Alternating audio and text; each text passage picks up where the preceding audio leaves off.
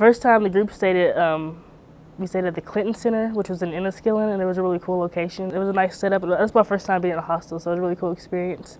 Um, it was very historic. I know there was a bond for the United States and Ireland being there because, like, Bill Clinton and his um, his influence with the um, Good Friday Agreement and different things like that going on with the political influences.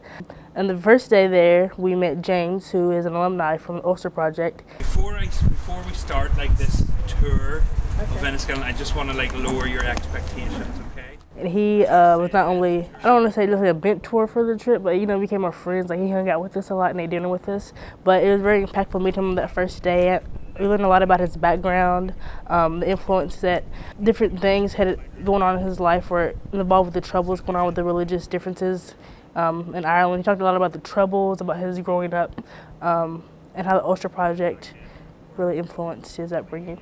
I was so great being someone with such a hearty Irish accent. That was really surprising. But it was really interesting because he's he knew a lot about Madison and where we're from, where we attend school, and um, so it was just exciting to get to know him. He's very knowledgeable, very friendly.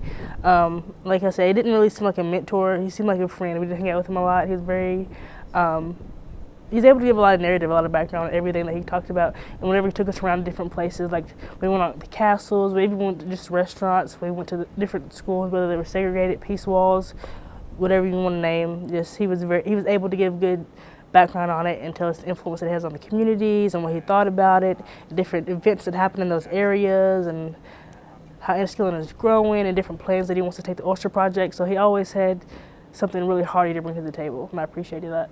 And it's going to really set the tone for the entire tour.